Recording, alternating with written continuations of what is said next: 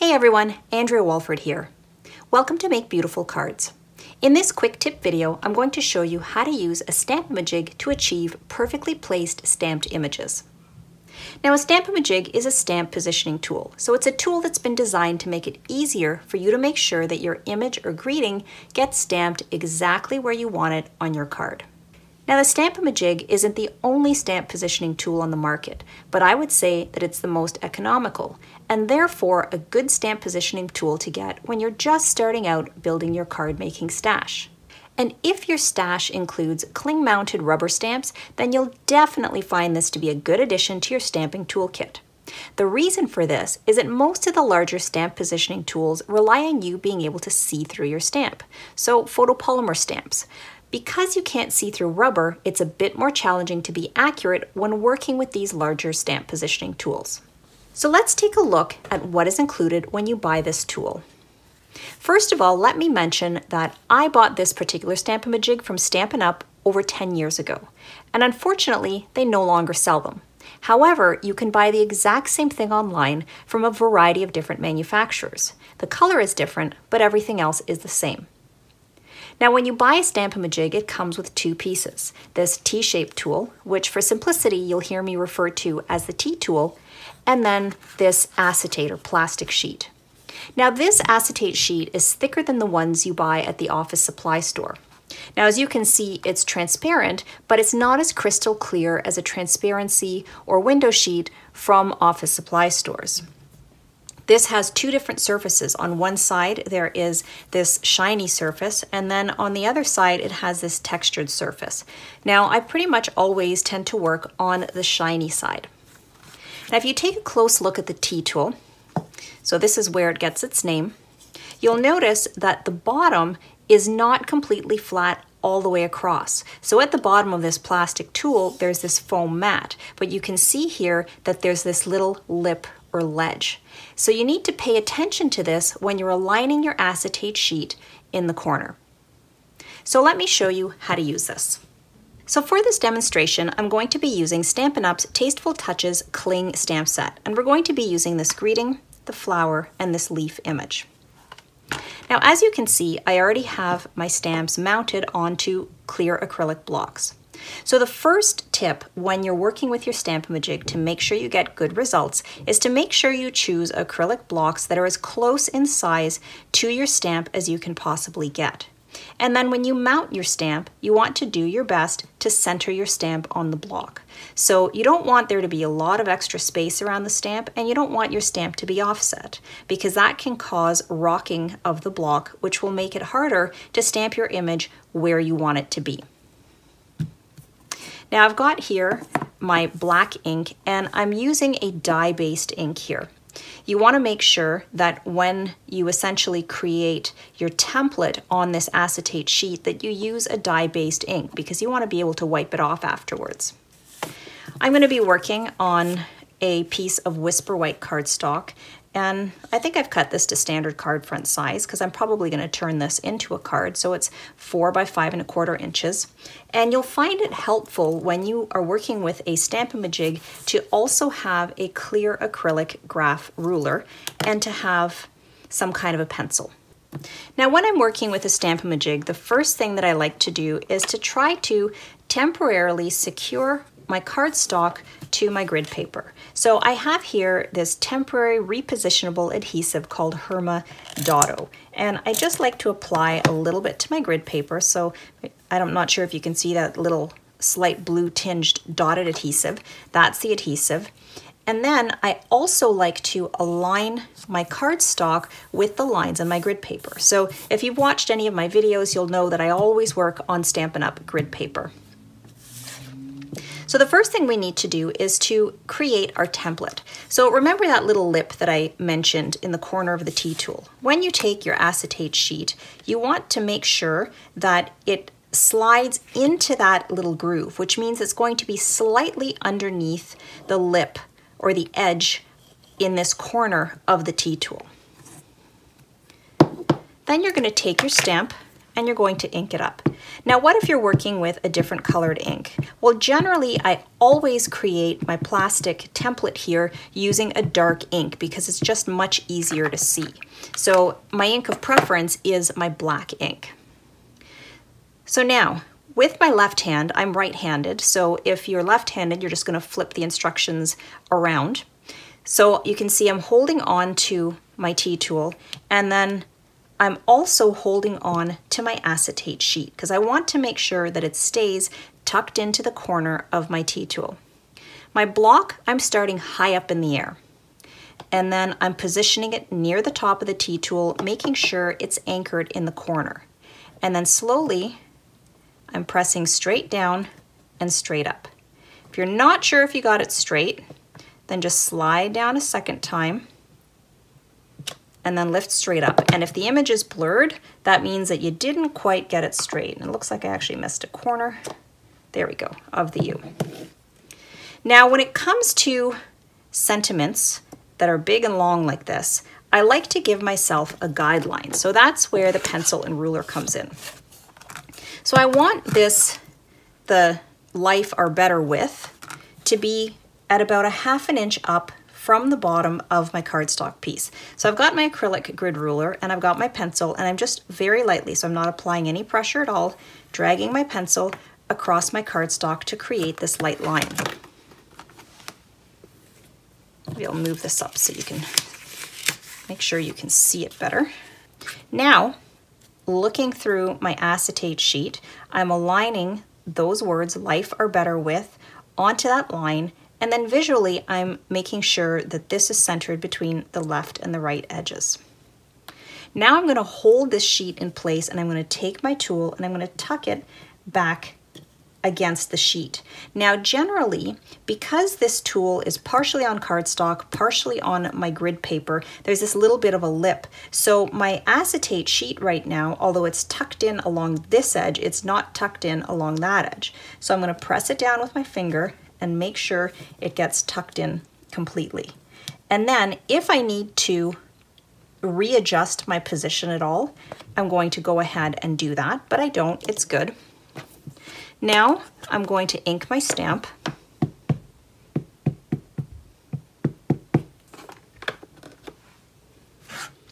remove my acetate sheet, but at this point now you have to be very careful that your T-tool doesn't move and your cardstock doesn't move. I'm going to take my block and I'm going to tuck it into the corner and I'm starting high at the top again. And then slowly, I'm going to slide this down along the corner of the block. I'm going to apply some pressure and I'm going to lift straight up. And there you can see my image is perfectly stamped on that line. So you've seen me stamp a greeting. Now let's take a look at using this for an actual image. So when you're finished using your acetate sheet, you want to make sure you clean that off. I'm just using a baby wipe. You can see I'm wiping that off.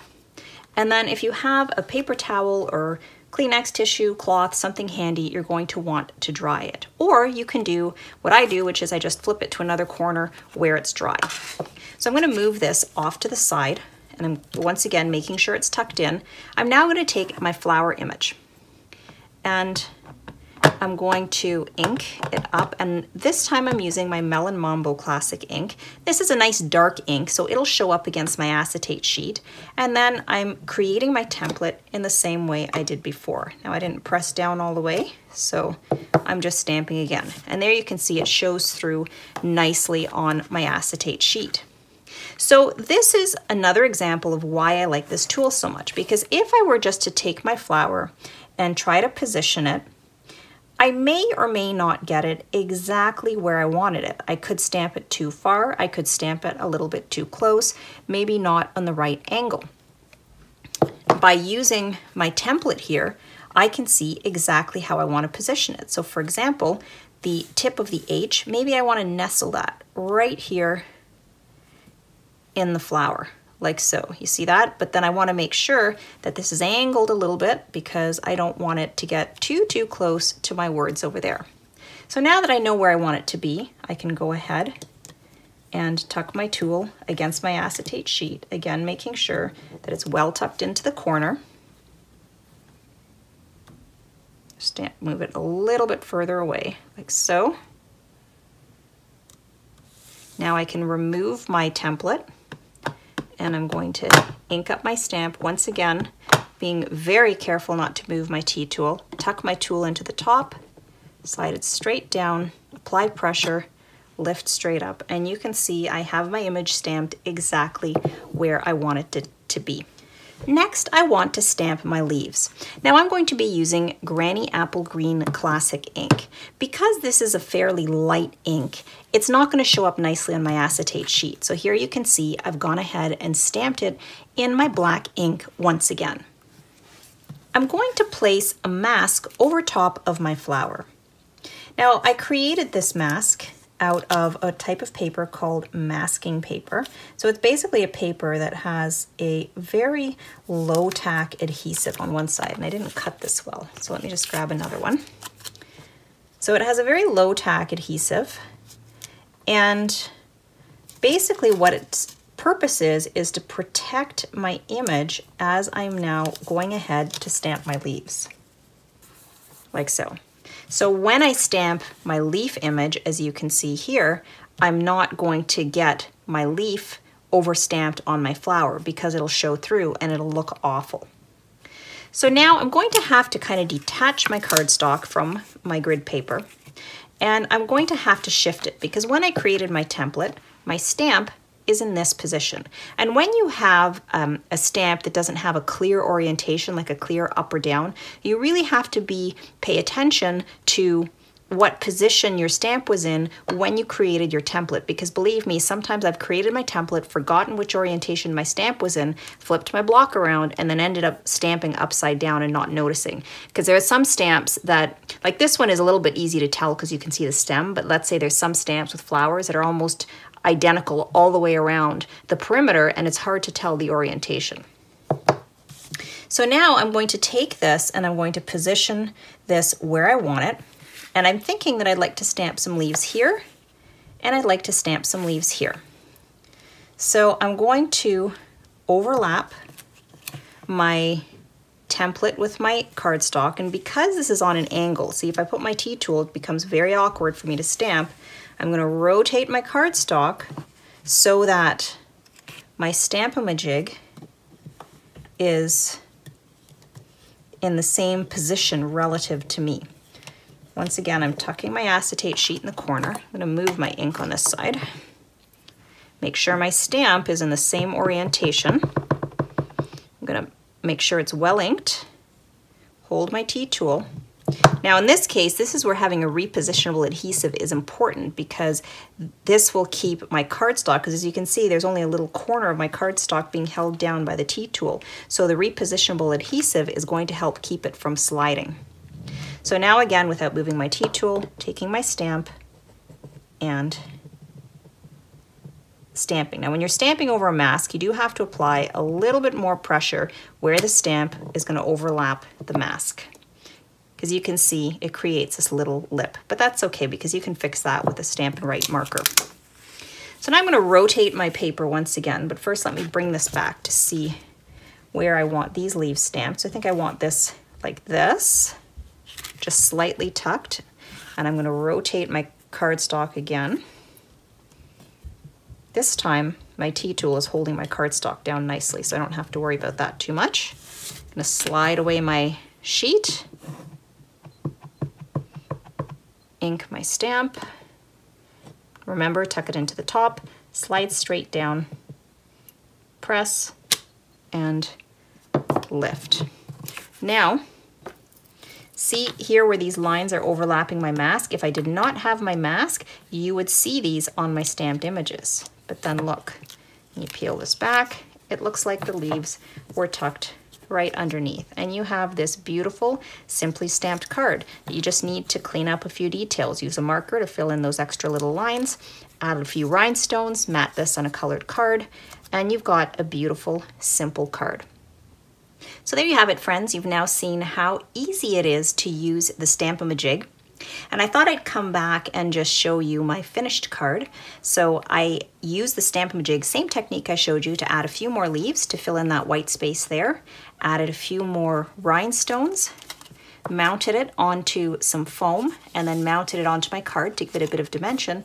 And you can see we now have a simple, beautiful card with everything perfectly stamped and positioned where we want it. Now I will have a video on the Stamparatus, which is one of those larger, more robust stamp positioning tools I mentioned earlier. And I'll also have a video that compares and contrasts the Stamp-A-Majig with the larger stamp positioning tool. In the meantime though, I hope that you found this video to be helpful. If you have any questions, please leave them in the comments below. I'll be back soon with another quick tip video. See ya!